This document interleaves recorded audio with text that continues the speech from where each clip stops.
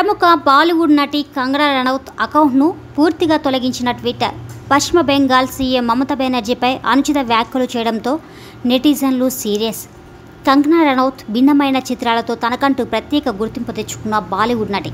అయితే ఇటీవల సినిమాల్లో కంటే ఎక్కువగా వివాదాల్లోని వార్తల్లో ఉంటుంది. బీజేపీకి అనుకూలంగా ట్వీట్లు చేస్తూ నిత్యం ఏదో ఒక వివాదాన్ని తెరలేపుతూ మోదీ వ్యతిరేకులతో పోరాటం చేస్తుంది. ఫలితంగా ఆమెకు ఆ పార్టీ నుంచి అండదండలు లభిస్తున్నాయి. మోదీ అభిమానులు కూడా ఆమెకు మద్దతు తెలుపుతున్నారు.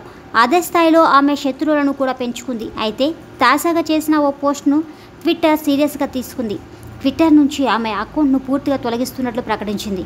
దీంతో ఆమె వ్యతిరేకులు పండగ చేసుకుంటున్నారు.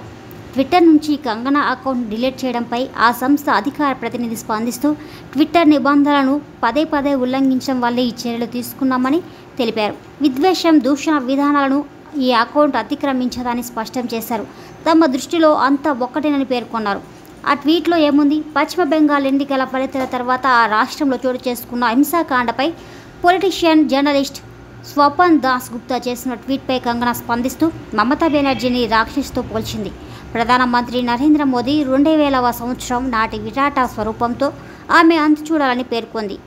పశ్చిమ బెంగాల్లో రాష్ట్రపతి పాలన విధించాలని డిమాండ్ చేసింది. ఈ ట్వీట్ వివాదానికి దారితీసింది. మమతా మద్దతుదారులు ఆమెపై విమర్శలు గుప్పించారు. హింసను ప్రేరేపించే విధంగా ఆమె ట్వీట్ ఉందంటూ రిపోర్ట్ చేశారు.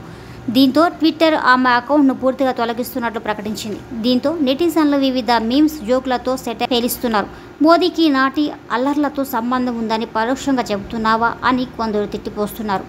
ఈ వీడియో మీకు నచ్చినట్లయితే లైక్ చేయండి షేర్ చేయండి కామెంట్ చేయండి. ఇటువంటి మరిన్ని వీడియోస్ కోసం మా ఈ ఛానల్ని సబ్స్క్రైబ్ చేయండి.